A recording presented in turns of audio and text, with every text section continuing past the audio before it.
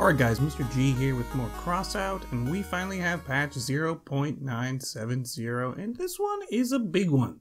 It's got a lot. Uh, this is going to be the Mr. G reads the patch notes rambly. Let's talk about what's new, what's good, what's bad, and what's been changed in Crossout.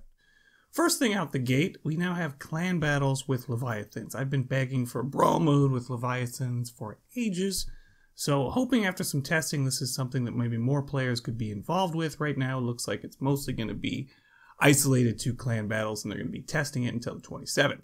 Obviously we got the new pack, uh, Spectral Hunter is coming out that comes with the Beater Cab. That's the one that gives us a bonus to damage after being cloaked. And we've got the Epic Mine Layer, the Snare. Looking forward to trying that out. So this unique cabin, we've got the Ghost. Uh, it is a medium cabin. It's got a power score of 1500, tonnage of 5,500 kilograms, and a mass limit of 11,000 kg. So it's a medium cab coming in there around the Steppe Spider, also going to give you 12 energy. But the unique feature on this thing is it gets a bonus damage of 1% per second while the car is cloaked. Uh, bonus is reset after 5 seconds. So uh, something that's going to be handy to use your charged chameleon with this thing. Uh, so that's that out of the way. Those are the two big new things, and there's a couple of new parts coming as well. Um, some changes in manufacturing and building. They've added new in-game resources. We've got batteries, um, which you've got to do a special mission to get these from, and we've got plastic. That's going to be probably going with this in-game event called Flea Market. So with this, this event will end on May 31st. During the event, all survivors can exchange wires for new resources, battery and plastic. Resource exchange rate is 1 to 1. Okay, scrap metal.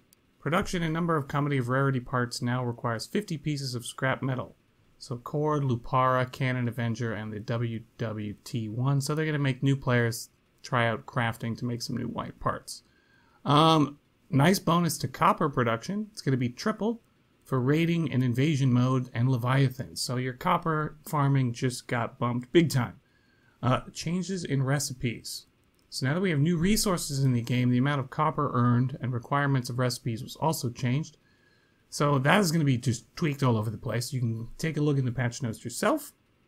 Uh, co-drivers are now going to cost, uh, they're going to cost 300 pieces of copper to unlock skills with. So you're going to just have to spend more to get skills from co-drivers. Uh, warehouse extension and blueprint extension has been made cheaper, which is nice. Uh, in Bedlam mode, they've added the factory map to the rotation. For brawls, there's free for all, which is nothing new. On the debriefing screen, players are now listed according to their place. As additional information, the screen displays number of kills and deaths. So they're just fixing up UI, cleaning things up. Big Black Scorpions now has Rock City as a map. Battle Royale has a whole bunch of tweaks to weapons. Now, if you're looking at that, those tweaks are only going to be for Battle Royale, so don't panic. Those are all specific to that brawl mode. Okay, what do we got going on with weapons overall? We'll get to that in a minute because first, we've got a few new parts. So we've got some new faction parts, which is a great thing to see from Crossout adding new armor bits. We've got this structural part called Plain Air Intake. Uh, you get that on level 6 with Nomads, and you get another one with level 13 in Nomads. Always like new armor bits. Uh, what other changes do we have? The Docker. It has its durability bumped up from 350 to 390, so a bit of a buff. And maximum speed increased by 5 kilometers per hour. Still waiting for that speedometer. The WWT1 gets a durability bump as well, and its weight is reduced, and its maximum speed is increased. Those two were super slow. Now this is kind of a big one, the Spike Crossbow. It gets a range increase and it gets a projectile flight speed increase by 50%, which is huge, and a big fat 28% nerf to reload speed. So you're going to be seeing these things more accurate over great distances, which I don't really know why they needed it because I'm already getting sniped across the map from people that are good with these. They're just going to get better. Uh, the Aspect machine gun got nerfed by 10%. Uh, I guess that feels about right. You know, it wasn't that OP, but it was a little bit. Once again, they're buffing the Skinner, increasing harpoon turn speed and cable strength, and adding a cable winding option, which is awesome. We needed that so we can reel people in. Hopefully we'll see more of those used.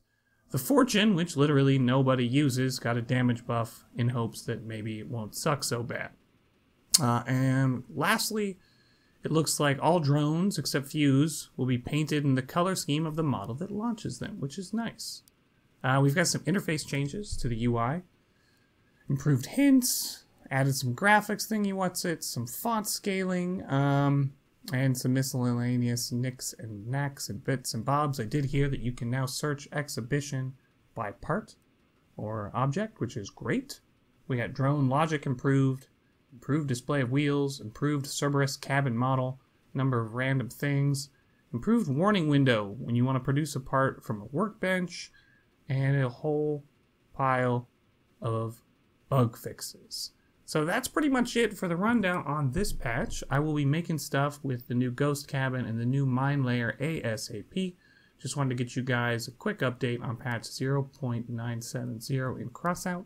You found this useful and you want to get more of these, please hit that like and subscribe button because I do always try and get those patch updates out to you as soon as possible. That's it for this one, guys. Mr. G